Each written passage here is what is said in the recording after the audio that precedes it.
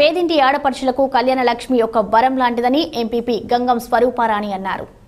రుద్రంగి మండలంలోని డెగావత్ తండా గ్రామ పంచాయతీ కార్యాలయంలో వైస్ ఎంపీపీ పీసరి భూమయ్య ఉమ్మడి మనాల గ్రామ సర్పంచ్తో కలిసి ఇరవై నాలుగు మంది లబ్ధిదారులకు కళ్యాణ లక్ష్మి షాదీ ముబారక్ చెక్కులు పంపిణీ చేశారు ఈ సందర్భంగా MPP Gangam Swarooparani vice MPP Pisari Bhumaiah మాట్లాడుతూ తెలంగాణ ముఖ్యమంత్రి కేసీఆర్ నిరుపేద ఆడబిడ్డల పెళ్ళిళ్ళు భారం కావద్దని కళ్యాణ లక్ష్మి షాదీ ముబారక్ పథకం ద్వారా ఆదుకుంటున్నారని అన్నారు.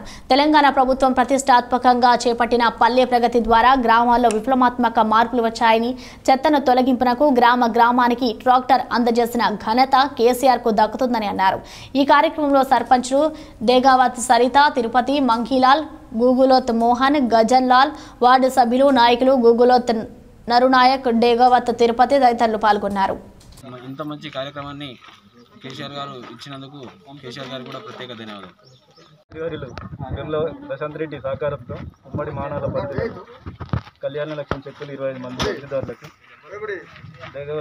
గ్రామ పంచాయతీకి చెక్కులే కాకుండా వివిధ అభివృద్ధి పనులను కూడా ప్రశాంత్ అన్న గారు చాలా చేయడం గౌరవ మంత్రి వారికి కృతజ్ఞతలు.